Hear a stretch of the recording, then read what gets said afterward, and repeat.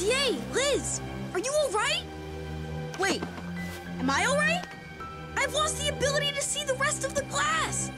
Oh no, I'm class blind! No, you're not. They're not here. It's just us. this is like my recurring dream of a field trip descending into total chaos. Only, oh wait, that dream is real, and it's every single trip! I admit, this is stranger than usual, Arnold, but we'll figure it out. How?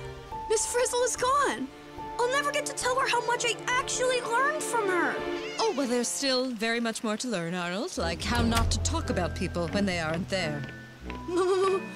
Miss Frizzle? Yes, and that is clearly the iconic lighthouse of Peggy's Cove, Nova Scotia. Nova Scotia, Canada? What happened during the storm that we ended up on the opposite side of the continent from Albuquerque?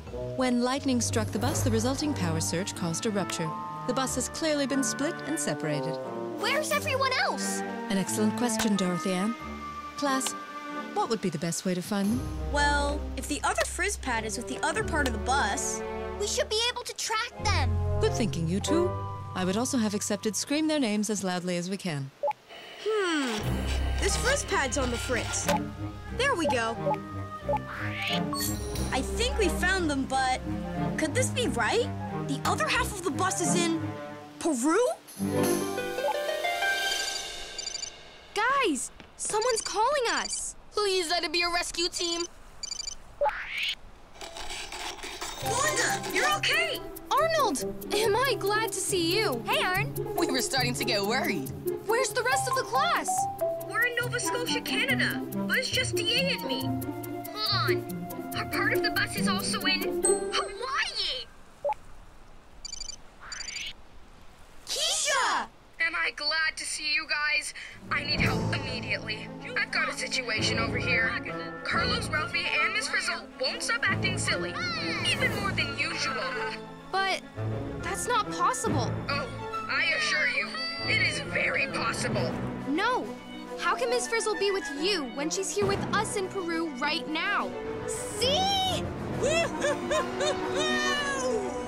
You know how they say you can never have too much of a good thing?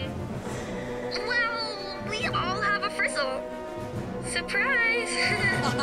you get a frizzle. She gets a frizzle. We all get frizzles. Ms. Frizzle split into three? Ah, this is all starting to make sense now.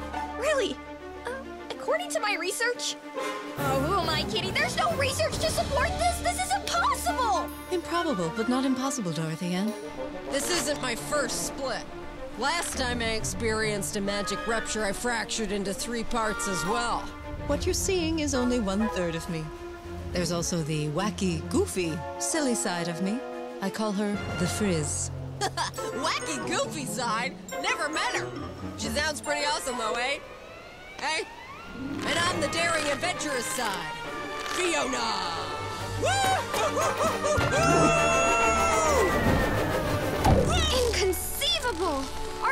just jumped out of the balloon.